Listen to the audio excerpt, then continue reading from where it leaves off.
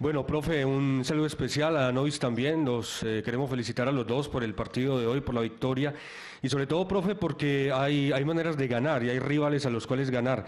Eh, yo quisiera preguntarle si, si el primer tiempo, sobre todo el partido de hoy, fue un partido completo, pero sobre todo si ese primer tiempo de hoy se acerca un poco a la idea que usted tiene de juego, con ese dominio total con y sin la pelota sobre América. Y preguntarle a Danovis eh, si el Danovis que vimos hoy con tanta libertad para pasar al ataque, Graterol le sacó una, luego usted anota, es un poco la, la versión de, ese Danovis que usted aspira seguramente a tener en esa continuidad de juego acá en Nacional.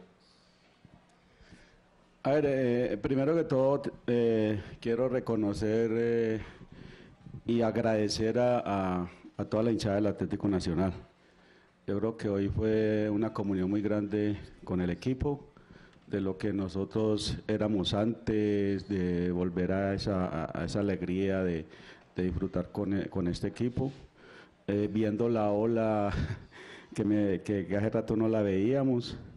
Y, y, desde, que, eh, desde que salimos, y la alegría, la alegría para el equipo. Entonces yo creo que hay que, hay que agradecerle a toda la hinchada de, de Nacional.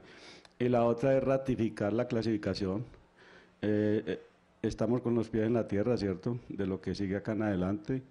Vamos pasito a pasito y, y tratar de, de, buscar el título, que es lo que nos interesa en estos momentos. Y, yo creo que individualmente eh, hoy encontramos un equipo muy, muy bueno, ¿no? Muy bueno. Yo creo que hay que valorar al equipo que jugó hoy. Mm, ocho, ocho jugadores de las menores, ¿no? Eh, estaba Mier, estaban los dos centrales que se manejaron desde las menores. Eh, yo creo que eso le da alegría a uno, por eso fue que yo jugué con ellos y, y, y me impresionó, me impresionó lo que hicieron hoy. Y, y, ese es el nivel, o sea, el nivel es más, para ser campeones tengo que levantar más el equipo. Pero no viendo, por ejemplo, a Danovis hoy, el rendimiento de Danovis, ahora me compromete como un berraco de acá en adelante para yo armar ese equipo, ¿cierto? Porque ahora me vinieron todos y van a encontrar un nivel muy alto, entonces ahí donde yo tengo que, con mi cuerpo técnico, eh, tratar de armar un, buen equipo. Buenas noches para ti y todos los televidentes. Eh, por supuesto, esa es la intención, esa es la idea, eh, tratar de, de plasmar la alegría que se vio en las tribunas. Nosotros dos días antes ya nos habían avisado cómo iba a ser la fiesta. Eh, lo hablábamos desde los entrenos, el profe, desde antes de iniciar cada entrenamiento nos recalcaba eso, sobre todo la confianza. De pronto decís que, que la libertad que, que, hay para atacar eh, no es por exagerar. Aquí está el profe, el gol mío es una copia del, del gol que hicimos en el entrenamiento. Yo creo que fue una, una, una seguidilla de, de pases y, y, de transición a velocidad donde logramos concretar. Eh, al ver niveles altos, como lo dice el profe, eh, créame que da alegría, da alegría saber de que de aquí para adelante nos está cogiendo la, la recta final del campeonato con, con, con, niveles en alza. Y la idea es esa, la idea es de que, que el profe eh, la tenga difícil para, para escoger el 11. Estamos para aportar, para tratar de, de dar en el momento que se necesite ese empujón para el equipo y yo creo que aquí estaremos desde el vamos o desde el banco o desde la tribuna, desde donde toque para, para darle ese, ese empujón al equipo. Hernán, cuando usted dice que la clasificación está asegurada, significa que de aquí en adelante en los partidos que restan para en esta etapa hay rotación. No, Luciano, o sea, la rotación eh, depende de, de, de, lo que me den los jugadores. O sea, ustedes vieron que salió Dorlan, ¿cierto? Cansado, agotado. Entonces yo lo tengo que, no es por rotación, sino que lo tengo que recuperar. Allí yo tengo que darle también un descanso para, para que él me llegue fuerte a, a, a los cuadrangulares. Entonces no, no es, Luciano, hacer la rotación por hacerla, no eh, ahora viene eh, eh, Águilas y vamos con, con, un equipo no alterno, porque eso, eso mentira. Nacional tiene 25 jugadores disponibles para, para jugar y por eso es que están acá. Porque si usted me dice alterno Mejía, que no jugó hoy, Baldomero, Duque, John Duque, eh, Angulo, ¿sí me entiende? Eh, Olivera que no jugó y entonces no es un equipo alterno. Profe Herrera, muy buenas noches. Juan David Londoño de Goal, Colombia, igualmente para Danovis. Profe, de pronto el hincha quedó con ese, ese gusto de haber ganado obviamente este clásico ante América, de haber jugado muy bien el primer tiempo, pero también de pronto preocupándose, no tanto, pero sí preguntándose qué pasó en el segundo tiempo. El equipo se relajó, eh, fue una orden suya de pronto darle un poquito más de trámite, porque tenían todo para, para golear y para sacar un partido, digamos, eh, histórico desde ese punto de vista eh, en un clásico que el hincha siempre quiere ganar y ojalá golear. si de pronto nos puede dar una explicación de qué pudo haber pasado o cómo manejaron ustedes internamente ese tema del trámite del partido. Y para Danovis, eh, pues importante no volver al gol hoy, justamente cuando también ya Álvaro Angulo está en un proceso de recuperación terminándolo y que se espera que pueda reaparecer, justamente en esa competencia, en esa sana competencia interna que tienen ustedes dos eh, por el puesto de lateral izquierdo. Muchas gracias. A ver, eh, yo estuve viendo hoy el Manchester y, el Liverpool, ¿no? Los mejores equipos del mundo. Así, así, así, así, así. ¿Sí me entiende? Entonces nosotros, nosotros Nacional tuvo un pico alto, después bajó porque tenía que mantener, no porque yo les dije, sino que América también eh, trató de ir a empatar, pero el equipo se paró muy bien, o sea, se paró muy bien y no le regaló nada a, la América.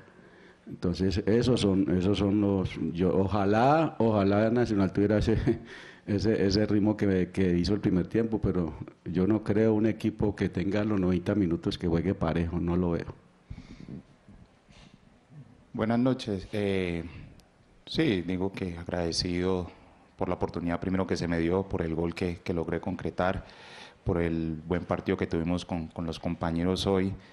Y repito, o sea, esto es una sana competencia, como lo decís vos. Eh, regresa un compañero importante para el equipo que con sus condiciones también va a aportarnos mucho y nos llevará, eh, por supuesto, Dios mediante a conseguir la 17, que es lo que queremos y el objetivo que nos hemos trazado.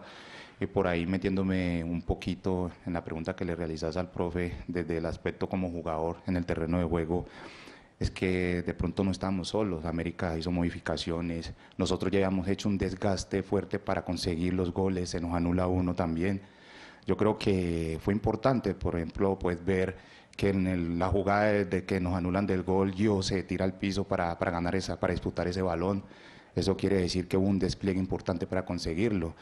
Ya el segundo tiempo ellos también hacen sus, sus variantes, se van encima, pero yo quisiera saber cuál fue un uno contra uno que tuvo Kevin Mier. No lo veo. Eh, puro remate de media distancia quiere decir que nos replegamos bien para ser campeones. Eh, este tipo de partidos o bueno, algunos minutos de partido tenemos que jugarlos así. Y yo creo que lo estamos entendiendo, lo estamos asumiendo y físicamente nos estamos preparando para ello. Hola, profe, ¿qué tal? Saludo cordial, Darío Laya Serna de 1350 Verdolaga, Deportes Chicho Betancourt. Profe, háblenos un poco de Giovanni Moreno. Para nosotros fue la figura del partido porque ha venido en un ascenso impresionante, no había tenido un buen comienzo y si considera que es el mejor jugador que tiene el mejor elemento eh, de Atlético Nacional. Y para Nois Vanguero vimos que se desahogó mucho en esa celebración del gol. Eh, siente que de pronto es, es el inicio de que puede volver a ser un jugador importante, de pronto volver a ver al Danovis del Tolima ahora sí en Atlético Nacional, si siente que se puede abrir la puerta para que su nivel vuelva otra vez en, ascenso. Gracias. Eh, a ver, Darío, lo de Giovanni, Giovanni es uno más del equipo, ¿no? No es Giovanni solo. Entonces Giovanni acá tiene un rendimiento muy bueno, aumentó mucho su nivel, es un jugador importante ahora en la institución, por eso se trajo. Pero yo tengo que hablar del equipo y hablar de los de todos mis jugadores. Todos mis jugadores hoy fueron, no tengo queja de ninguno, el nivel fue muy alto y, y Giovanni fue uno de ellos dentro del equipo. Buenas noches. Eh, ¿Qué te puedo decir? El rendimiento a nivel personal me sentí cómodo dentro del terreno de juego, eh, sobre todo porque mis compañeros me buscaron, me hicieron sentir importante, la confianza que hubo. Como te digo, no fue casualidad, se viene trabajando ese tipo de jugadas. Eh, espero seguir por este mismo camino, espero seguir rindiendo y es lo que queremos todos, que el jugador que esté, ya vienen compañeros importantes, John Duque, Álvaro Angulo, que se van a recuperar, que para que esperemos que estén a plenitud para seguir aportando, para seguir sumándole al equipo esos elementos importantes y yo creo que, que va a ser una bonita competencia, ¿no? Igual se vienen finales donde eh, en algún momento se va a requerir de, de, algún compañero y lo que tenemos que estar es en puntinca de pie, como lo decimos nosotros, para entrar y aportarle al equipo. Buenas noches, profesor Hernán Darío, Samuel Vázquez de Futbolete. ¿Piensa que Nacional se puede proponer dar espectáculo en todos los partidos en los que juegue de local? ¿O piensa que esa espectacularidad que vimos hoy depende en gran parte a las libertades y facilidades que da el rival, en este caso América de Cali? Gracias. A ver, Samuel, eh,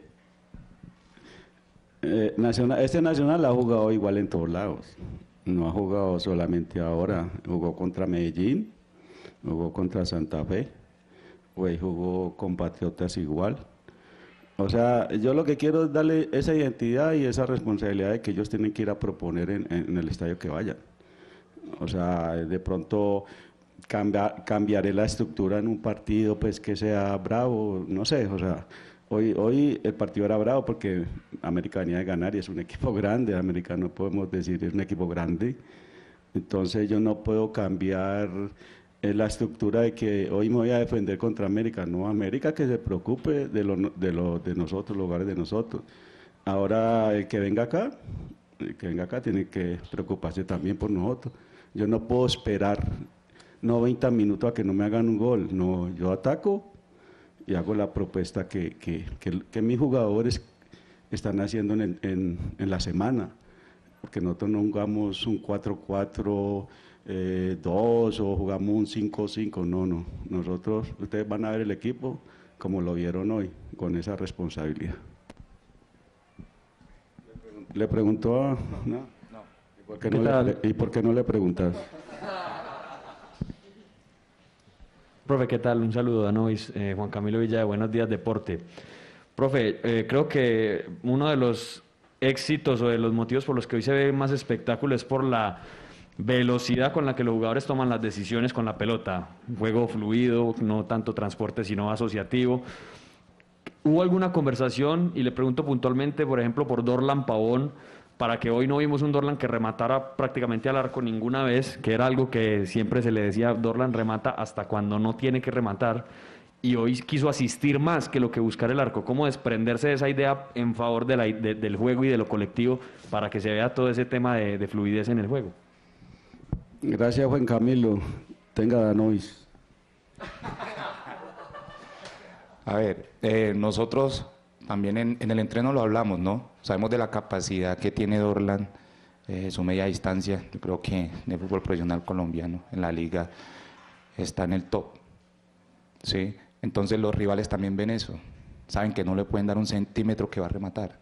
Entonces lo conversamos con él también. Memo, si hay una posibilidad, siempre sabe que por aquí va pasando un compañero. Ah, listo. Entonces yo creo que eso va también de la mano de, del compañerismo eh, de la familia, en la, de la familia en, que la, en la que nos estamos convirtiendo y por eso se ve ese tipo de jugadas. Hoy eh, no recuerdo una jugada clara que haya tenido Memo para rematar. Siempre trataron de achicarle los espacios. ¿Qué hizo? Asistió. Entonces eso también va en nosotros como jugadores entender en qué momento del juego estamos para tratar de darle, eh, como quien dice, esa, ese plus diferente al equipo para ganar. No, Juan Camilo te va a responder. no, a ver, a ver eh, eh, Dorlan, Dorlan tiene esa facilidad de tirar los centros tan rápido, pero yo le dije, Dorlan, vení, yo jugué delantero, pero vos tirás un centro de eso y yo no lo agarro, o sea, yo no lo cojo, porque vienen tan fuerte que no, no. Entonces ya Dorlan está pensando más en asociarse, ¿cierto?, con sus compañeros y eso es lo que estamos logrando con Dorlan porque ya viene y se, se, junta con Gio. O sea, estamos armando unas sociedades que yo creo que es bueno para, para lo que es este Atlético Nacional. Termina la conferencia de prensa de Atlético Nacional. Agradecemos la presencia de Danovis Vanguero y el profesor Hernán Darío Herrera. Buenas noches para todos.